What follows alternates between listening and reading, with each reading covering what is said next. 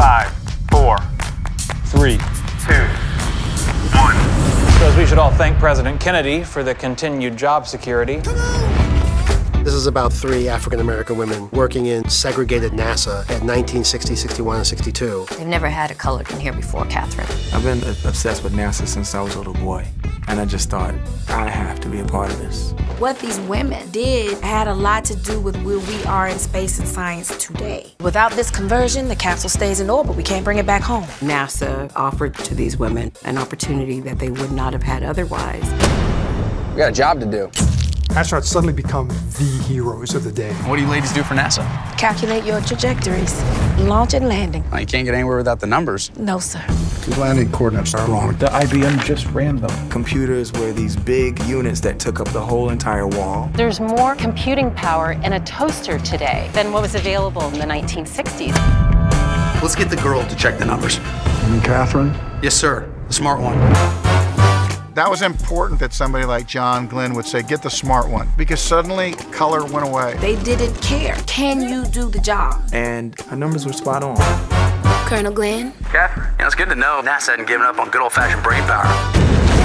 Highlighting stories like these is very important to NASA's legacy. It is truly a heroic, incredible American story.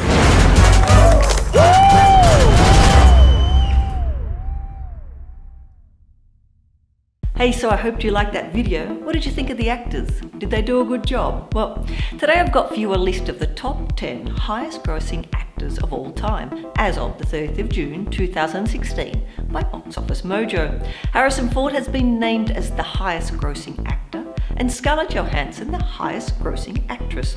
So here is the list and their earnings in millions USD.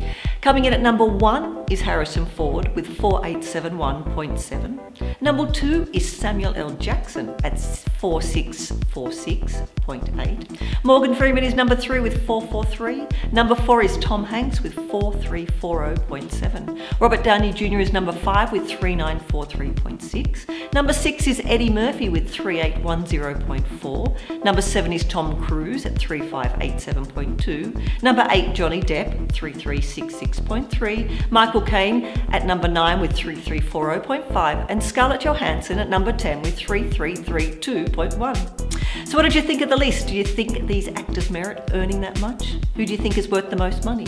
Let me know in the comments below and remember to subscribe to FilmIsNow to stay up to date on all the best trailers.